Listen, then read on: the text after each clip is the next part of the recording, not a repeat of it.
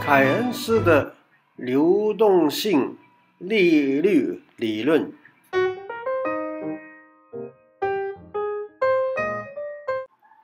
这是凯恩斯的利率理论，或者叫做货币理论。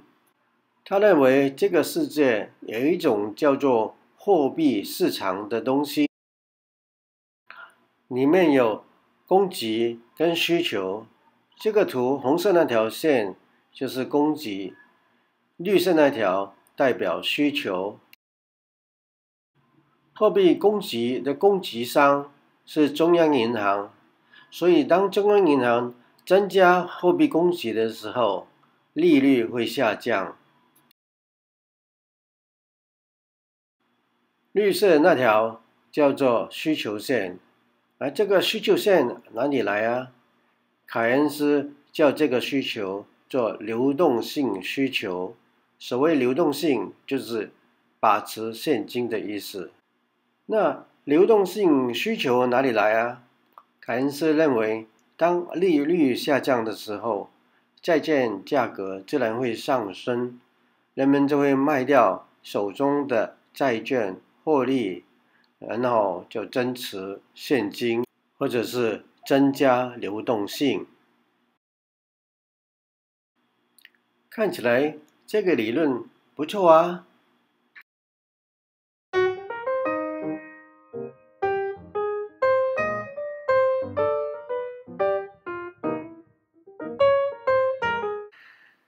我的反驳很简单：假如大家都增持现金的话，那他们是不是要从银行的户口？提款出来啊，那银行的存款减少，透过银行的存款乘数效果，那货币流通量一定更加减少了。也就是说，利率下降，货币数量也减少，这样是一条负的线吗？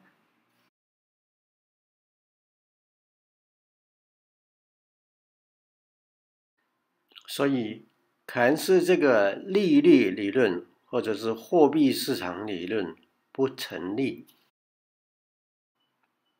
或者下面的 M 只量现金，所以中央银行印钞票的时候，老百姓手中的现金一定增加。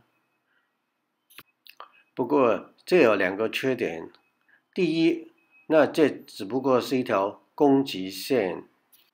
第二，依靠第三个因素来形成两者的关系，绝对不是科学态度。凯恩斯解释人们为什么要保持流动性，他叫这个叫做囤积。呃，我们囤积米来趁高价的时候卖出去，这是囤积。囤积货币有用吗？没用，是大笨蛋。